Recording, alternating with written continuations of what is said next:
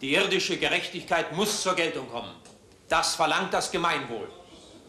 Aber überall sehen wir nur Eigennutz, Selbstsucht, Wucher, Schiebertum, Widerwillen. Ja, Hass des einen Standes gegen den anderen. So weit geht der Mangel an Solidarität, dass sich sogar die Anhänger derselben sozialistischen Richtung mit einem Hass verfolgen, der, der ganz unglaublich ist. Was geht denn das den an? Der soll aufs Maul halten.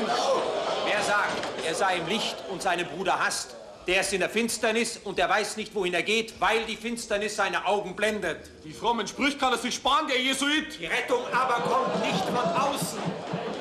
Terror und Gewalt können da nicht Vorbild sein. Die Erneuerung des Menschen muss von innen kommen.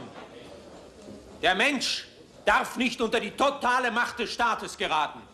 Und der Staat darf auch nicht die letzte Autorität sein. Ja, schau in was sie dir alles einmischt. Der Staat darf auch nicht die Existenz des Menschen für sich alleine beanspruchen. Und er darf sich auch nicht in die Erziehung der Kinder einmischen. Da habt euch aber brennt. Mit der Pfaffenwirtschaft muss er Ruhe sein. Schaffer, jetzt gibt's Ruhe. Der Gehorsam des Christen gegenüber dem Staat wird von seinem Gehorsam gegenüber Gott geleitet.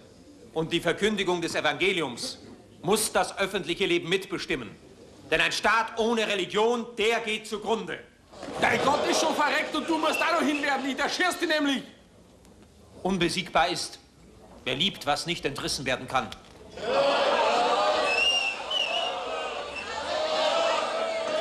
Wir reden wohl in deutlich. Überall mischen das die Hände. Was das? Geh! Mein Kind, der ist nicht du, schwarzer Hund! Hau doch ab! بالتنتي على الله